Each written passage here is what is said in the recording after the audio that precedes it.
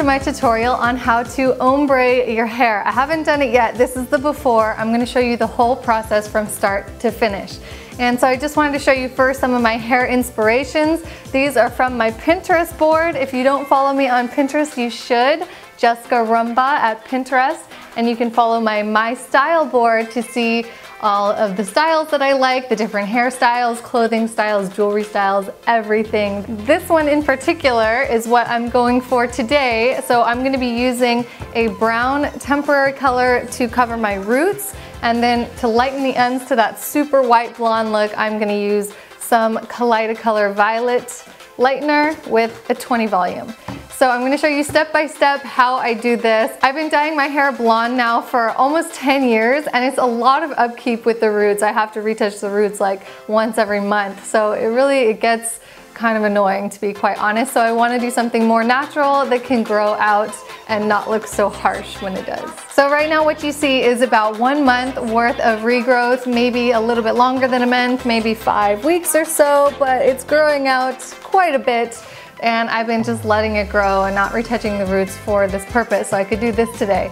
So the end result is going to be sort of the opposite of what I have now. It'll be lighter underneath and darker on the top. So let's flip flop my hair color. Stay with me and I'll show you the end result. Your first step is going to be to change your clothes. Get into something that you're not going to mind if a little color gets on it and I recommend a strapless sundress like this one that I usually wear to the beach. It's perfect because it's loose and I can easily take it off when it's time to rinse out my hair. Start with the dark color first. You're gonna open up your hair color. This Natural Instincts comes with four items inside. The conditioner, set that aside. Then you have the color and the developer. And lastly, and importantly, the directions. If you haven't used this before, you should read the directions thoroughly but I've used this plenty of times so I know what to do. I'm going to shake up my color and developer together and then apply it to the roots and using a brush I'm going to blend it down.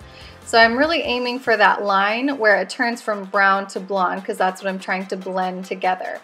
So making sure to get the color all over that transitional line. And then I kind of smooth it and blend it down into the blonde. So I start from the middle part and then I go all the way down to one side to the ear and then you go back to the middle, start again from the top. You want to make sure that you're taking really thin, even sections so that you don't miss any chunks of hair. Take your time and be really careful. All right, here I am back and I have the whole section finished. I don't really do the underneath section because that part's brown anyway, so this is just basically from the ears to the top. Now I'm gonna separate it into two from the back and I'm taking both sides down and straightening them out, getting the tangles out so that I can color the ends. So I mix up my bleach here. This is with a 20 volume developer and you're gonna need some foils for this as well. I start from the back and I take a really small section, press it against the foil and then paint just the ends, like maybe the last six inches of the hair. And then of course you wanna blend this up towards the brown, make sure that there's no harsh line on this as well. Once you've got it all circled and covered in the bleach, you're gonna fold that foil into a small packet so it can process. Continue this on the remainder of your ends, just doing very small sections at a time. The smaller, the better the color will be. So I think I did about eight sections per side. Now this is a really important step. While your ends are processing, you want to go back to the roots and make sure you rub in the line where it goes from brown to blonde. Just use your fingers and blend the color down into the dry part of the hair in small sections. Then you want to check the ends to see if they're done processing. At this point it's been about 10 minutes so I check and see if they're as light as I want them and if not, I'm just gonna wrap it back up and let it process a little bit longer. Since you only want that color on your roots for about 25 minutes, your ends may not be able to get light enough on the first time around, so I ended up washing everything out and then going back and doing the ends a second time. About 25 minutes later, they were perfect.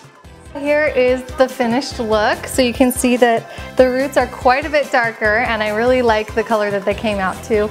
They're really nicely blended in and that's just by using that sort of rubbing technique to rub the line out so it just fades from brown into blonde and I think that works so well. I just I can't believe how nice the fade is. And you can bring this down as far as you want, but I just wanted a little bit so that I would still be overall blonde, but sort of blending my natural back into it.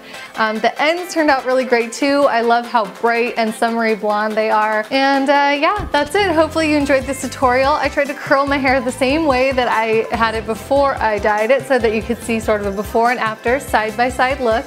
And if you want to see how to get loose waves like this, I did a tutorial on that. You can click here to watch that video. Um, thank you so much for watching. Leave your comments down below and I'll see you guys next week with another video. Bye!